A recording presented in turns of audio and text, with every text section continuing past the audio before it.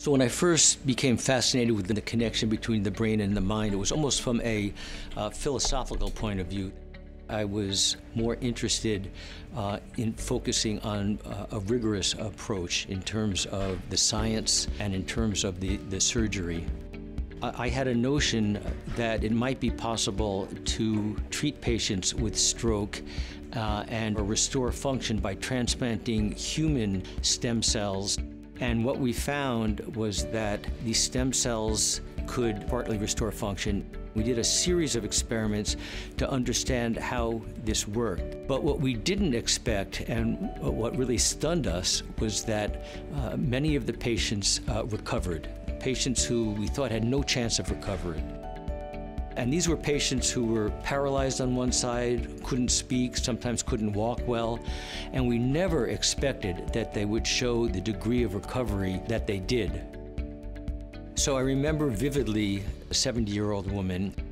She had been through rehab. Uh, she was paralyzed on the left side. All she could do was move her left thumb and barely get her left leg off the bed after the surgery. She lifted her arm up and then she kicked her leg way up in the air. The most important thing to me uh, in terms of my life is to be creative, to make new discoveries. The whole creative process is, is for me, what life is about.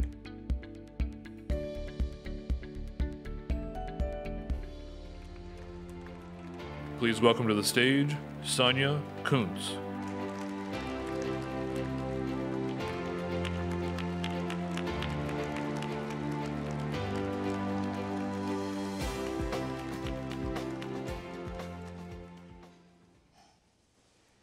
Two and a half years ago, when I was 31 years old, I was out walking my black lab and pit bull in the back in the park with my husband Peter when something strange started happening to my brain. I kept trying to speak to him, but different words came out of my mouth than the ones I wanted to say. It was surreal. It continued all day, and at that night, my husband told me the left side of my face had gone slack. I tried to stand up, but I couldn't. It didn't actually sink in until later that I had a stroke. When I realized what happened, I was devastated.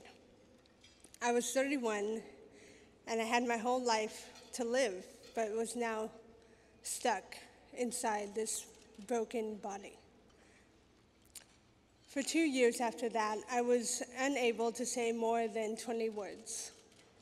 I couldn't move my right arm more than a few inches and could only walk for five minutes without needing a wheelchair.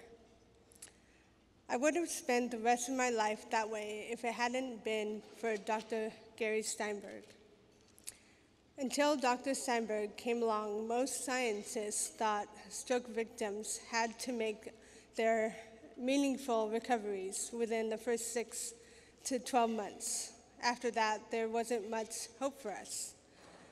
Dr. Steinberg refused to believe that. Last June, he published his first study on this. It was a small trial, just 15 patients but the changes were unprecedented. I'm incredibly grateful to have been one of the patients in this first trial.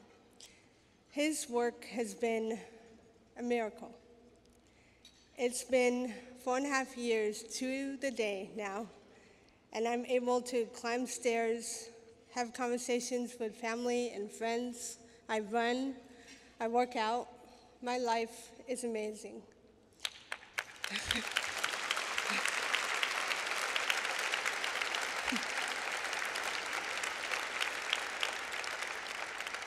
was also able to become a mother.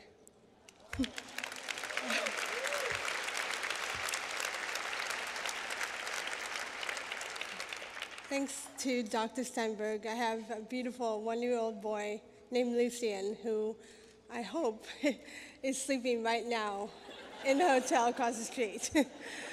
in fact, just yesterday, he, um, he um, walked with no one, hel- no one else for the first time.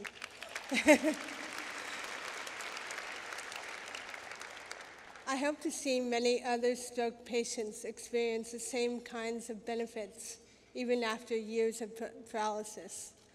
I'm also hopeful, as is Dr. Steinberg, that these findings will point the way toward new treatments for other conditions like Alzheimer's and Parkinson's.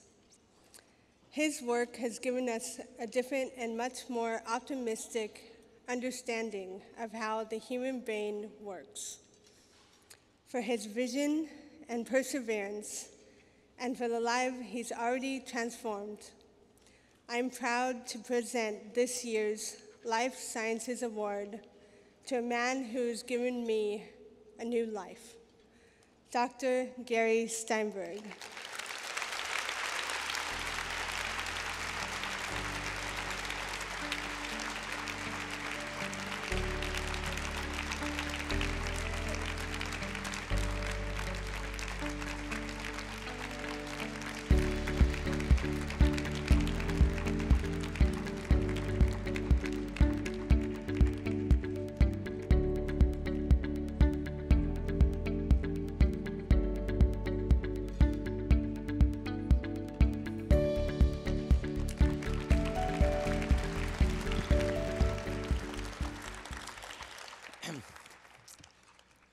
Wow.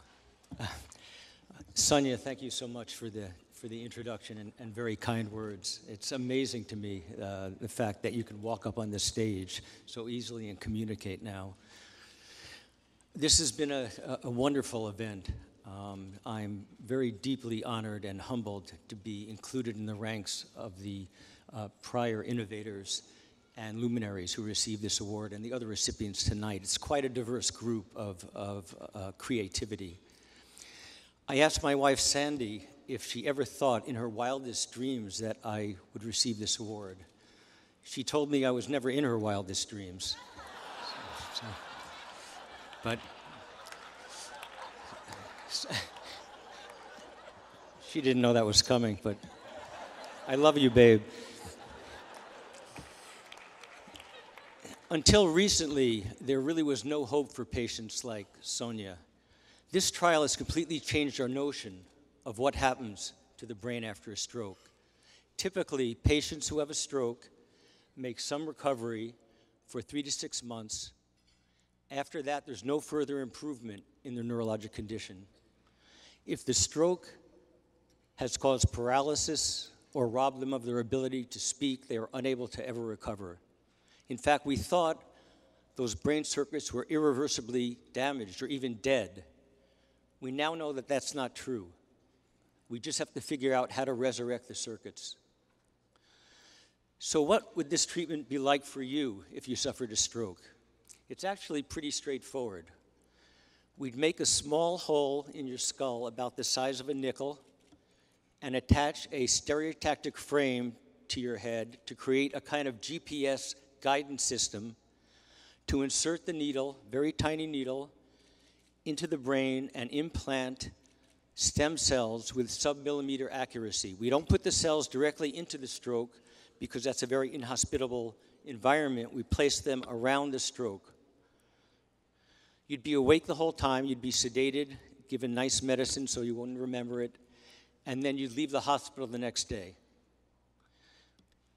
How do the stem cells work to recover function in the brain?